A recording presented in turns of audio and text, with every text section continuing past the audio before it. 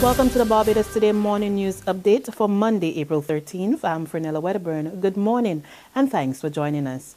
Our top story Speaker of the House of Assembly, Michael Carrington, finally breaks his silence on the controversy involving him and a former client. Back in February, Carrington, an attorney at law, found himself in hot water for not paying John Griffiths $200,000 in outstanding monies following a court order. The matter also resulted in the opposition refusing to attend sittings over which Carrington presided until Parliament's Committee of Privileges, to which the matter was referred, gives a ruling.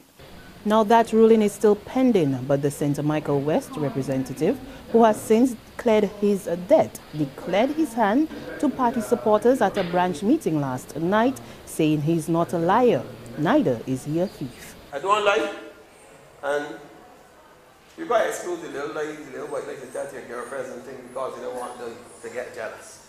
And I know I use the past, because there's only the wife now, right? and I don't stay. and that is not about to change. I also brought, I also brought with me a belief in the rule of law.